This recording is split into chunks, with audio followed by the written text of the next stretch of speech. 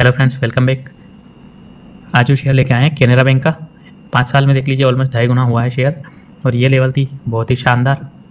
इस लेवल पे बूम किया इस लेवल से स्टार्ट हुआ है कंपनी ने, और 105 तक अभी अच्छा परफॉर्मेंस किया है। हम काफ़ी टाइम से इसको स्टडी कर रहे थे, अभी 109 में मैंने कुछ शेयर खरीदे, अभी थे 105 आया तो और एक्यूमलेट करने का टाइम है। थोड़ा और यहाँ पे 100 तक देखने को मिलेगा तो अच्छी खासी क्वांटिटी में निवेश कर सकते अच्छी क्वांटिटी का मतलब यही है टोटल कैपिटल का वन बाई टेन या उससे कम। उससे ज़्यादा तो किसी भी हालत में नहीं करना है। बाकी बात कर ले अदर फंडामेंटल्स की तो सबसे पहले बात कर लेते हैं फंडामेंटल्स की। ये जो फ़र्स्ट चीज़ आती है ना एक्सपर्ट ऑपरेटिंग इसको मैं कभी ओपिनियन नहीं देता हूँ। मतलब कभी पेपर नहीं करता, उसको कभी खोल के भी नहीं देखता हूँ।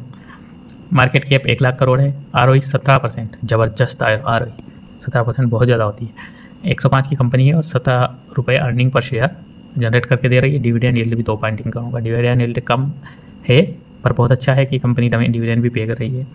बुक वैल्यू 98 है, अभी 105 पे चल रहा है, हो सकता है दो चार दिन में 100 तक भी देखने को मिले। तो बहुत अच्छी अपॉर्चुनिटी यहाँ पे है। बैंकिंग सेक्टर में अगर आपका जो है टारगेट है ही सही इन्वेस्ट करने का बैंकिंग के लिए लिहाज से। अच्छी कंपनी एक पॉइंट तेरह का पी भी चल रहा है।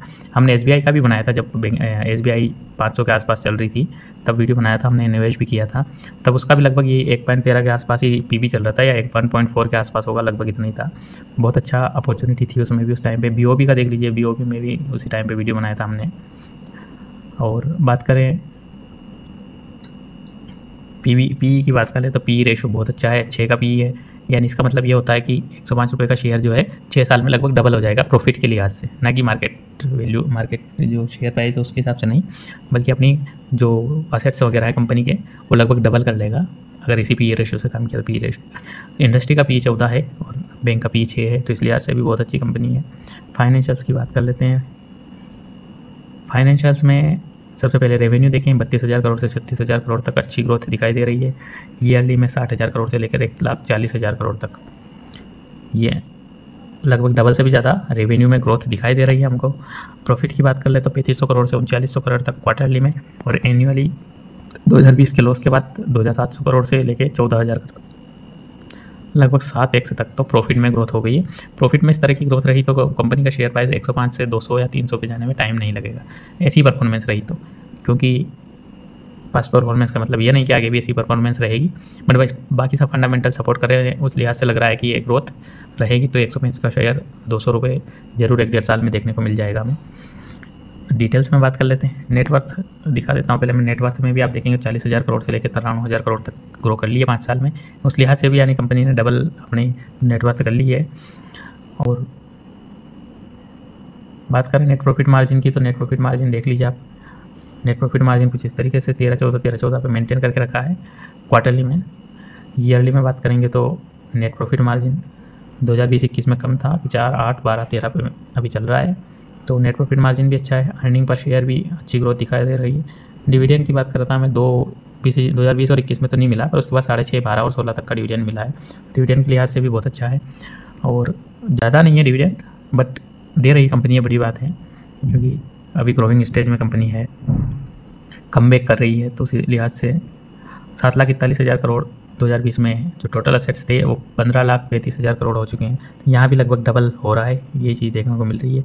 बुक वैल्यू की बात करेंगे तो तीन सौ अड़तीस के बाद 2020 में के बाद कम हुई थी तीन उसके बाद तीन सौ उनचालीस और चार सौ अट्ठावन। यानी एक बार लॉस होने के बाद, जो 2020 के लॉस के बाद कम हुई थी, उसके बाद कंटिन्यू कर रही है। यहाँ कुछ लोग कंफ्यूज हैं कि बुक वैल्यू चार सौ अट्ठावन यहाँ पर बता रहा है 2024 की।